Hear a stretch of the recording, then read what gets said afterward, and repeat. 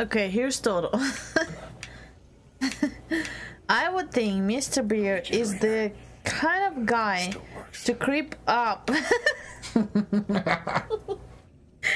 behind a couple of gorillas who are twisting each other's nipples, say to himself, You don't see that every day. You damn right.